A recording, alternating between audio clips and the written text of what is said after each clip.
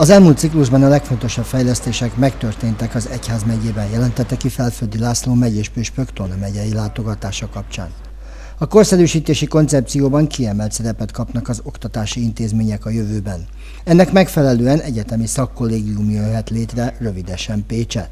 Ott vannak is épületeink, amiket, amikre még pénzt kell szereznem, hogy sikerüljön felújítani, és egy kicsit a jövő nemzedékét megerősíteni egy kollégiumi életben, egy szakkollégiumi munkában. Az egyháznak nincsenek saját bevételei, így minden fejlesztéshez pályáznia kell, vagy támogatásokat kell szereznie, mondta az egyházi vezető. Nagyon fontos, hogy megtaláljuk azokat a módokat, ahol pályázhatunk, vagy azokat a komolyabb segítségeket, akik felajánlják egy-egy templomra, egy-egy közösségi helyre a saját adományukat, a saját segítségüket.